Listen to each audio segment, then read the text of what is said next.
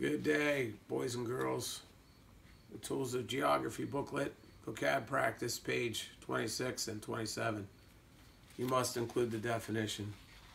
We have eight words. After reading sections one and two, you are creating a symbol or an illustration, writing your definition in your own words. What in the world was that?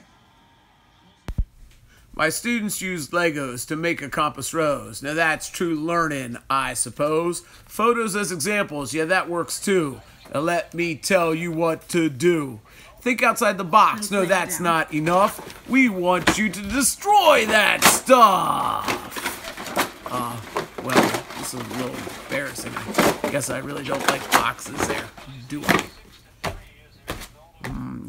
Make something out of clay, a skit or a play. Creativity will take all day. Use Google Slides or things that you like. This can be as easy as riding a bike. Flashcards a poem, a straight up rhyme.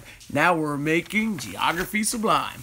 Compose a song like Barbara Manatee just to impress Mrs. Yanity. For sharing your talents, we'd like to say thanks. You might even impress Miss Hanks. Learning should be fun. We all do it differently. And these have been the words of one Mr. G.